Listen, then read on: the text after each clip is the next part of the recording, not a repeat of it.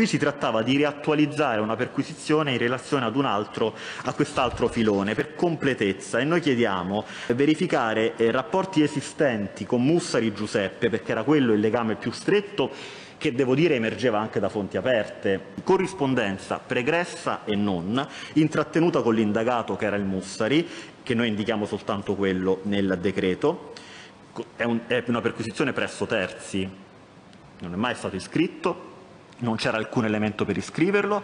David Rossi fu perquisito, ma mai iscritto nel registro degli indagati dalla Procura di Siena che stava cercando di far luce sulle operazioni Nomura e Santorini concluse dalla Monte dei Paschi.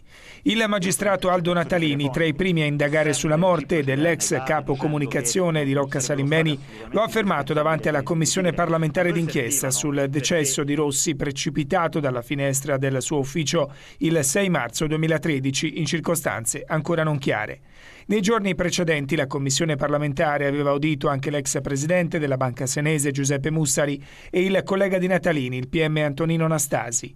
L'accusa di essere magistrati indolenti mi ha ferito, non c'è stato ambito di Siena che non sia stato investigato da noi della Procura, ha aggiunto Natalini, rispedendo al mittente le accuse di Pasquale Aieco.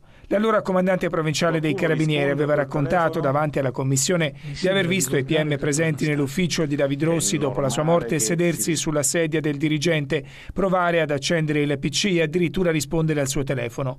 Oltretutto il cestino, contenente fazzoletti con tracce di sangue e bigliettini accartocciati con presunti messaggi d'addio di David Rossi, svuotato sulla scrivania. La finestra era aperta, l'ufficio era in perfetto ordine, credo che ci siamo stati una ventina di minuti, poi siamo scesi quando è arrivato il medico legale. Dunque a un certo punto, mentre cercavamo lì dietro la scrivania, nessuno si è seduto nella sedia, Stavate dietro la scrivania? Siamo andati beh, per vedere, per affacciarsi bisognava andare dietro la scrivania. Cioè, lì poi entra la scientifica che poi chiude e poi si sigilla tutto e si va via.